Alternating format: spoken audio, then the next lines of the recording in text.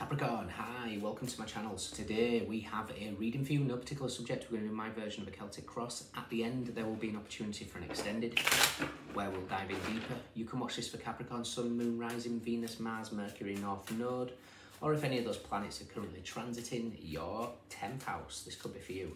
You know the drill. Thank you for however you support the channel. It's very much appreciated. Cross watchers, you are more than welcome. Message may well be for you. All the information is in the description box just hit the more button below. Okay, Capricorn, what's going on? Let's do one more.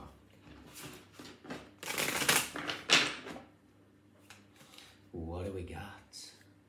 We have the Knight of Swords. Okay, full steam ahead. Okay, where are you heading? You're going with full steam. Crossing you. Oh, interesting.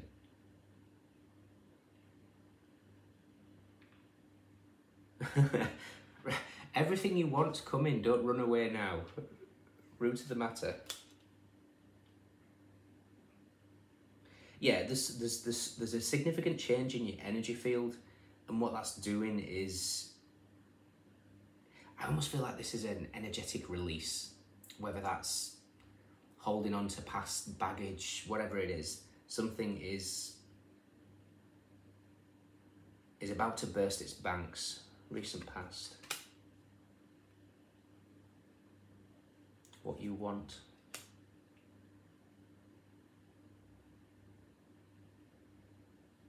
What's coming in.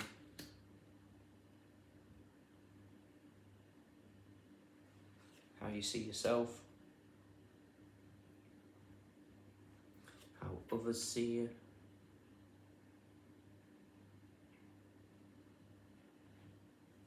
Advice.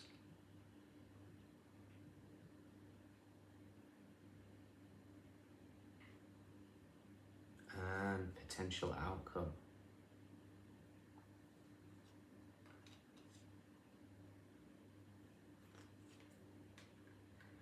Interesting. I was wondering if your final card's justice. I was curious as to whether justice was coming out.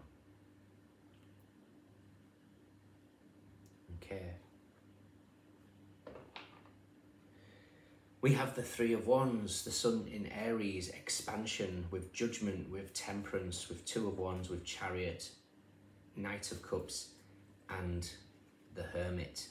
Right, it's like, it, it, it might feel like something's frustrating and then all of a sudden everything just starts moving really quickly, almost to a point of overwhelm.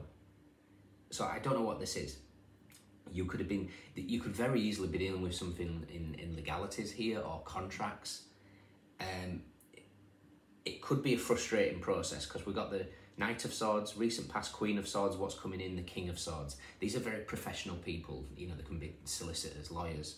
Um, and it's like it's like you've been waiting for something and a little bit impatiently possibly um, to the point of wondering if you've made the right decisions. Uh, you have.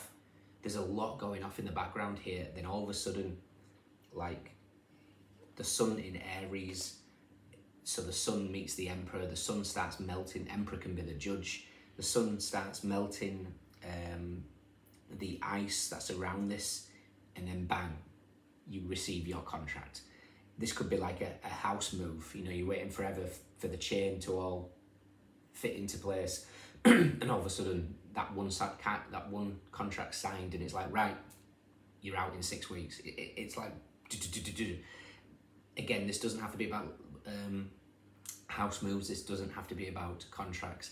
Doesn't have to be about legalities.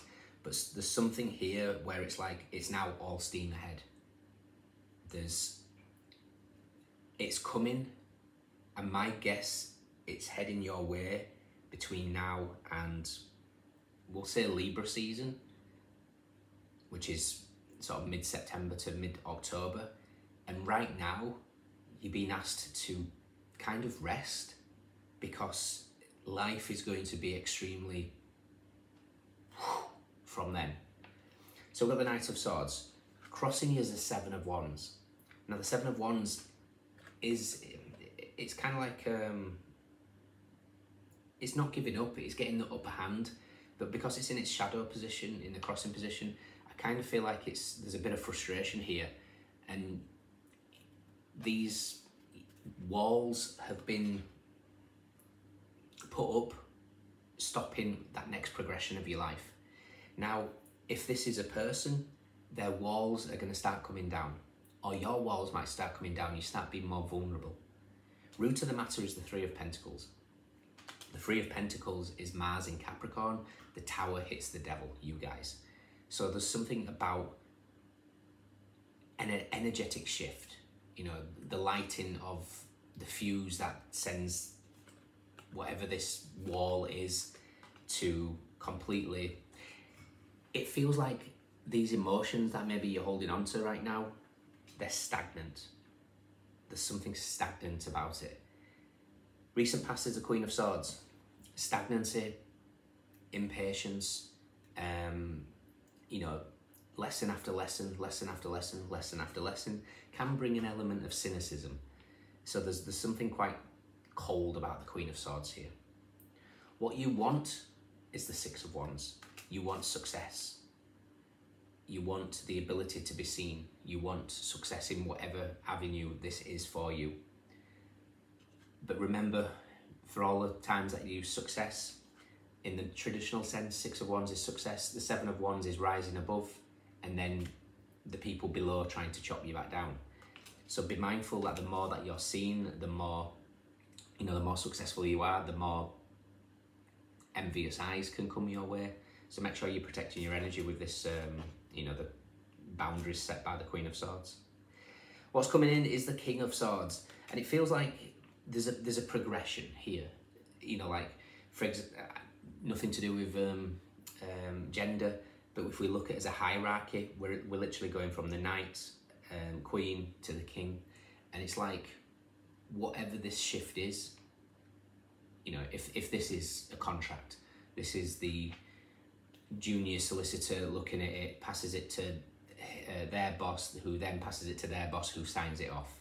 It's like there's a progression that's happening, and that's happening in your life as well. It's like you're ticking off these spiritual jumps, and each time you get raised another frequency. How you see yourself though at the moment is a little bit despondent. Four of Cups. You might be overthinking. You might be missing something, um, missing someone possibly.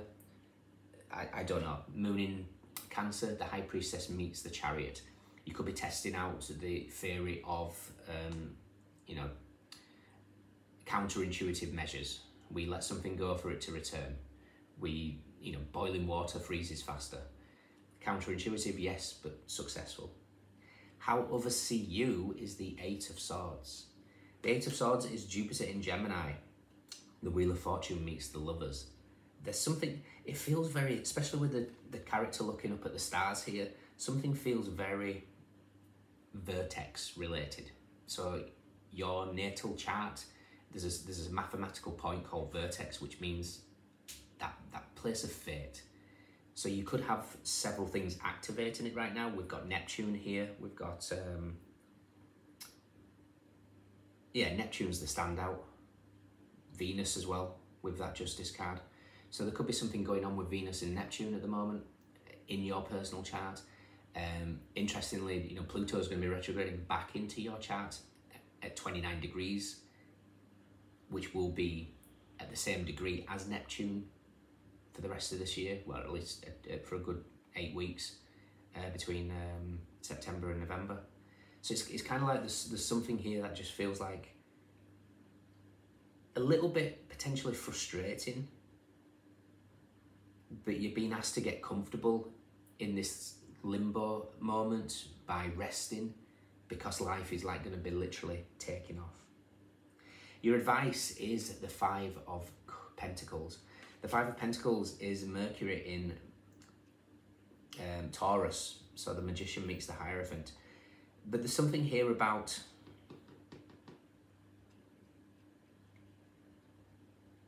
maintaining your level of frequency. It's it's something to do with. Let me just psilocybin. Now, it doesn't mean to say that you go in and take in psilocybin or anything like that, but there's something about. I mean, you could be uh, microdosing mushrooms. I don't know. But there's a message in psilocybin. Commune. Communing with the sacred, connecting to otherworldly energy, remote viewing, regeneration through union, coming together with a tribe, finding cosmic family. Reversed, disconnection, lacking community, fear of merging with others, lack of interest in connection, soul loss, pain from the past. So there's there's a lack of interest in connecting with others here, I feel. For whatever reason. But it's all gonna shift. Your outcome is Two of Swords, the Hangman, and Justice. Literally, this sun in Aries energy, the sun beaming down on the Emperor, is we're going to go from Two of Swords, which is a card of injustice, flipping the script, and then justice. So it's like all of a sudden, out of nowhere, you get justice for whatever this is the contract that you want, the house that you want, the job that you want, the relationship that you want, where you may have, have, have failed in some sort of uh, projects, something flips. Something about the numbers as well, and I'm trying to work it out. 584. Venus. Venus um, as a morning star is going to be for 584 days. It's already started.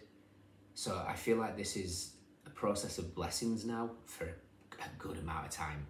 You know, 18 months of blessings coming in, which might be overwhelming, and you're just being asked to pause right now to rest because life is going to be, there's going to be a lot of demands on you.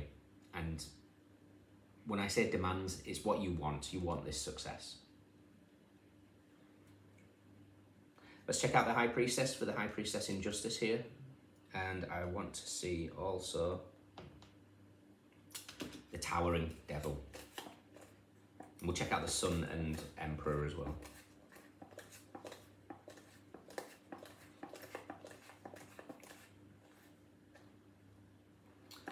Okay, the is with the King of Pentacles and the Nine of Swords. Okay, there's there's there's there's a message here about this Mars in Gemini energy. So Mars in Gemini is going to be in your sixth house of um, your daily habits, your health, um, pets. There's something that feels with the King of Pentacles. He's usually got a um, bull with him, and bull representation in the the runes is Uruz, Aurochs. There's something about using this energy between now and the 20th of um, August to strengthen.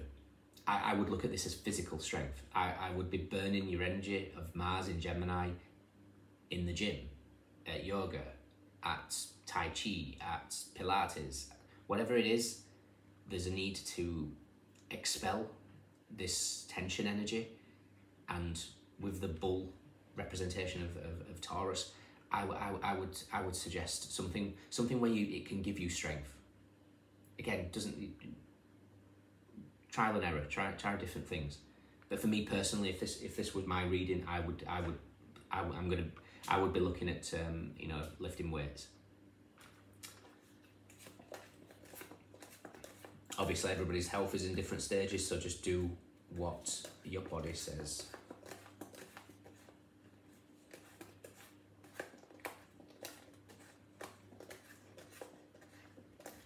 The High Priestess is with the the Wheel of Fortune and the Seven of Swords. Okay, anything that's anything that feels you know, like if, if, if job opportunities just don't seem to go your way, if anything feels like it's unfair at the moment, it's actually protection. The High Priestess is whispering the wheel is going to spin here. You know, again, like I say, injustice, the hangman just flips the script with the Wheel of Fortune, definitely, and then justice. So from injustice to justice. Fantastic. The Devil's with the Ten of Wands and the Three of Swords. Careful of burnout, guys. This, this is you, workaholics. Stop it. and it, sometimes these workaholic aspects is, is drilled in, you know, um, we assume it's laziness or, you know, you, you're accused of laziness as a child or anything like that. Everybody's different. Your, your body might need more rest. You know, you know they say feminine energy needs more sleep than, than masculine energy. You've got to listen to your body. The Emperor is with the Four of Swords and the Ace of Swords. The, even the Emperor is saying time out. Your breakthrough is coming. And the Sun is with the Ace of Pentacles and the Four of Wands. Your last card is the Three of Cups, signifying abundance. I, all I would say right now, life might be frustrating, but the, the script is going to be flipped and you are going to get your justice from injustice to justice. Your hard work will pay off there's a trusting that you need to know that you're protected from any storms. You know, this big mushroom is covering him. He may not look happy, but he's, he's, he's, he's dry. The lightning in the background can't get him. Let's just see what else psilocybin has to say. Los Niños Santos has come to tell you that you have arrived to your place of power. They are beacons of light on earth and offer psychic healing on a collective level. Los Niños Santos are asking you to tune in and commune with the ancestors and powers that be to further develop your power. Psilocybin floods our body with light codes, loosening the knots we've volunteered to protect through our journey of life.